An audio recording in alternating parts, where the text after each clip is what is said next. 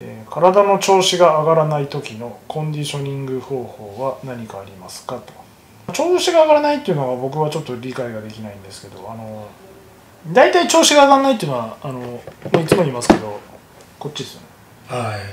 メンタル。はい、はい。気持ちのスイッチが入んなくて体が重いだとかね、はい。はい。ありますよね、はい。いろいろやってましたね。あの要はこっちをリセットをいかにさせるか。おー例えば、まあ、簡単なところで言えば、えー一回シャワー浴びるとか。はい。それから、えーもう完全に着替える。はい。ね。それからあと歯磨くとか、あえーっていうところがありますよね。こうなんか生活の中の一部をこはう利用してはい。リセットするっていうことですね、えーあとは僕がよくやってたのは、えー映像と音楽ですかね、はい。音楽は、えーやっぱり自分がテンション上がる音楽。はい。それから、えーぼ僕の場合は、えー自分がトレーニングにはまはまり出した時代の音楽。あ要は初心に戻るってことですね、はい。あと映像ですよね。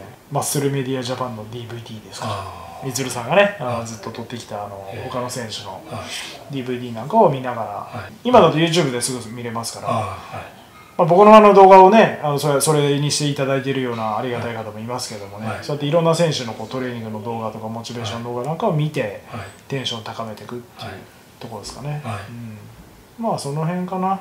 まあ本当に脳のスイッチさえ入っちゃえば体って絶対動いてくるんで、それ本当思いますね、うん。